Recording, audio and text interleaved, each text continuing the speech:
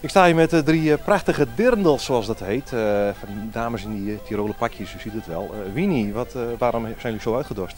Nou, wij hebben 12 december in de Blokkerspoort een Tiroler vrijmibo. Dus een hele grote vrijdagmiddagborrel. Op het plein, onder een overkapping, met verwarming, met heel veel bier en biertafels en gezellige dames en mooie mannen. Uh, we hebben toch altijd de vrijdagmiddagborrel in uh, Blok Sport. Wat maakt deze zo bijzonder? Nou, het is ter voorbereiding een beetje op de kerst. Uh, de twee dagen daarna hebben we kerstmarkt in de Blok Sport. Dus wij willen eigenlijk een beetje in de stemming komen met z'n allen. En het zou leuk zijn als iedereen zich zo durft te kleden. Of althans, een beetje.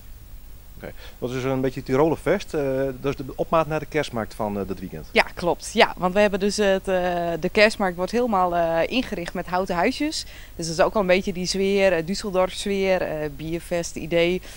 dus we zeiden dan is het wel heel leuk om de vrijdagmiddag alvast dit te organiseren en in de stemming te komen. Mensen die heel erg gaaf verkleed komen, die zich helemaal aansluiten op het, op het thema, die kunnen ook nog iets leuks winnen. En wat ga ik niet vertellen. Oké, dus uh, daarvoor moeten ze zich even uh, flink uh, verkleden in uh, lederhozen en dirndlpakjes. Klopt, en wij doen mee, dus wat dat betreft, je bent nooit alleen. Maar jullie vallen buiten de prijs, mag ik hopen, hè? ja, laten we dat dan bij deze maar afspreken. Kom allemaal op 12 december naar de Tiroler Vrijmibo in de Blokkerspoort. Verkleed je, dos je uit, kom er mooi uit te zien en win een hele leuke, lekkere prijs.